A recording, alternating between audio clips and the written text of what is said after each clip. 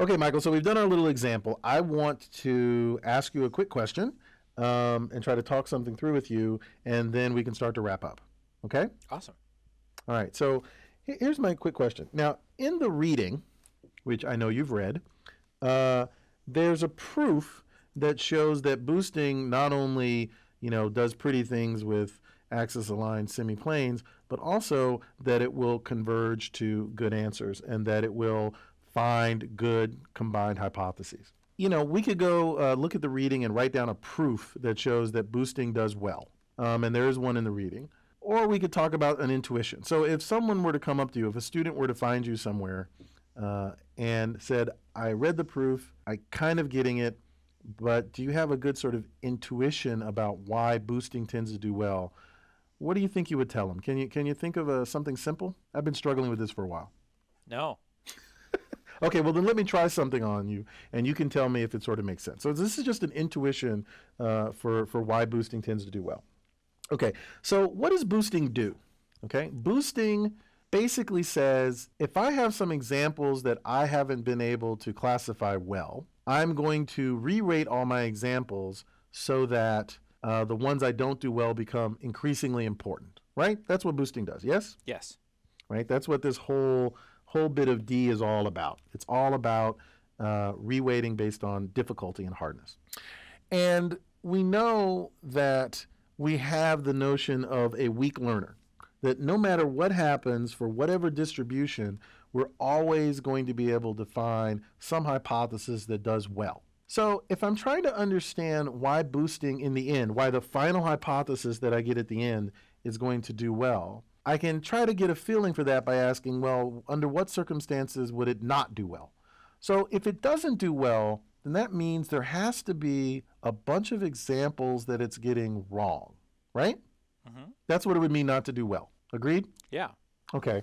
So, how many things could it not get right? How many things could it misclassify? How many things could it get incorrect? Well, I'm going to argue, Michael, that that number has to be small. There cannot be a lot of examples that it gets wrong.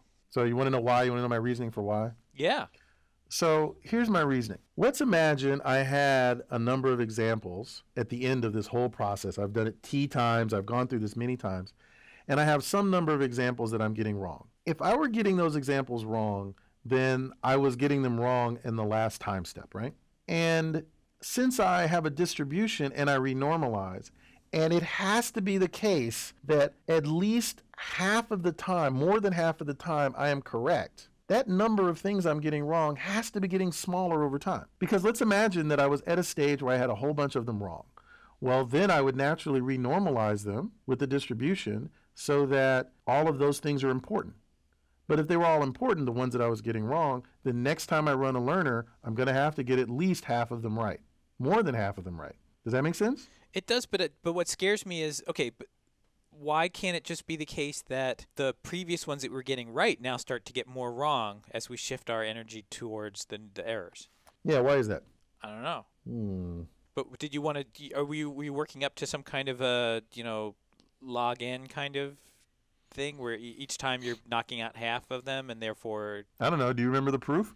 The proof? I mean, what goes on is that you get sort of this exponentially aggressive weighting over examples, right? Yeah. um, and you're driving down the number of things you get wrong sort of exponentially quickly over time. That's why boosting works so well and works so fast. I get that we're that we're quickly ramping up the weights on the hard ones. I don't get Mhm. why that's causing us to get fewer things wrong over time. So like when you sh- in your in your uh, example that you worked through that had the Yeah. error and the alphas and the errors kept going down and the alphas kept going up, Right. like is that necessarily the case? Well, what would be the circumstances under which it isn't the case? How would you ever go back and forth between examples? Well, certainly it's the case that if you keep getting something right, you will get them. Well, so here's what happens over time, right? Is that over time, every new hypothesis it gets to get a vote based upon how well it does on the last difficult, let's say, uh, distribution. So the ones that are, um, even if the ones that you were getting right, you start to get wrong, they are going to, as you get them increasingly wrong, that error is going to go down and you're going to uh, get less of a vote.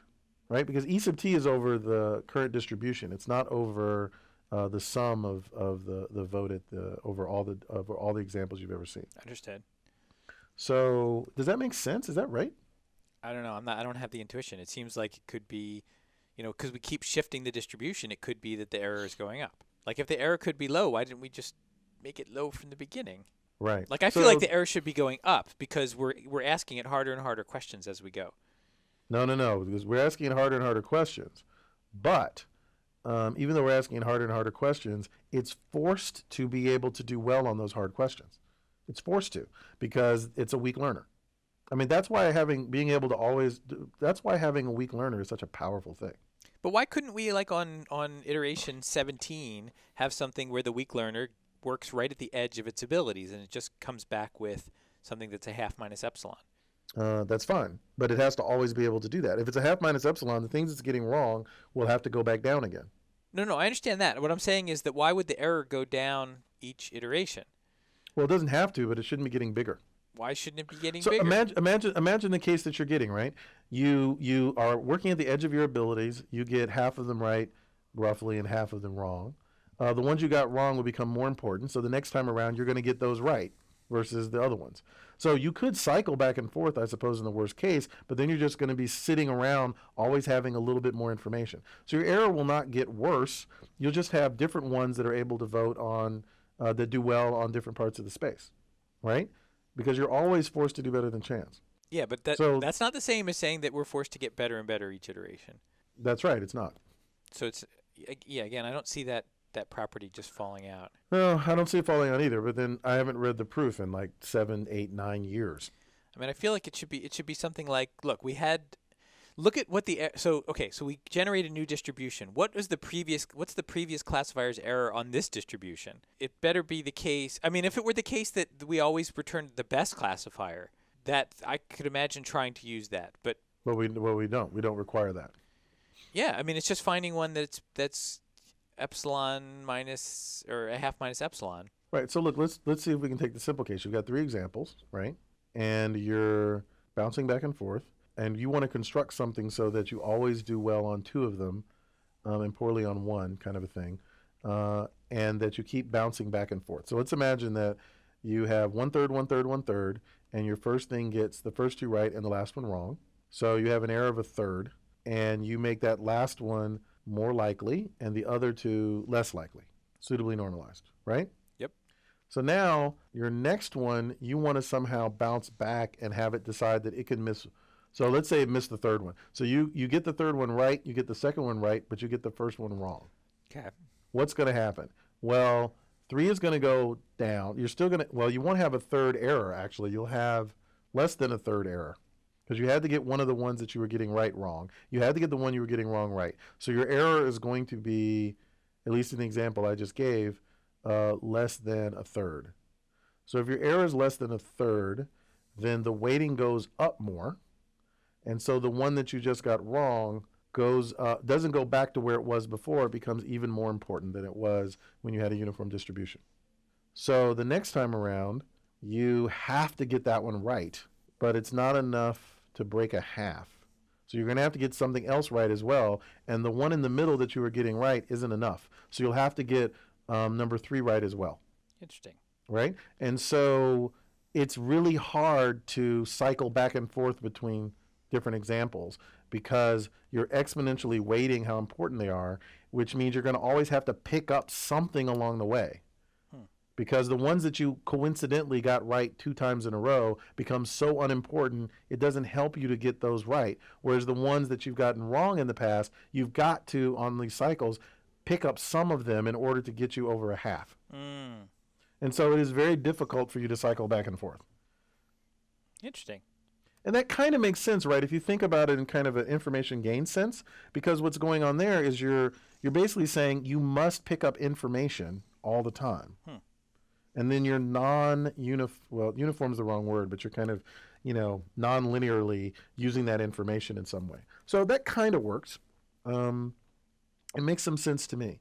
But I think in the end, what kind of has to happen is you you there must be just a few examples in a kind of weighted sense that you're getting wrong And so if I'm right that as you as you move through each of these cycles, you're weighting in such a way that you have to be picking up things you've gotten wrong in the past. So in other words, it's not enough to say only the things that are hard in the last set are the ones that I have to do better. You must also be picking up some of the things that you had gotten wrong earlier more than you were getting them right because there's just not enough information in the ones that you're getting right all the time. Because by the time you get that far along, the weight on them is near zero and they don't matter. Interesting. And then if you say, well, Charles, I could cycle back by always getting those wrong, yes, but then as you get those wrong, they're going to pull up and you're going to have to start getting those right too. And so over time, you've got to not just pick out things that do better than half, but things that do well on a lot of the data. Because there's no way for all of the possible distributions for you to do better than chance otherwise. Cool.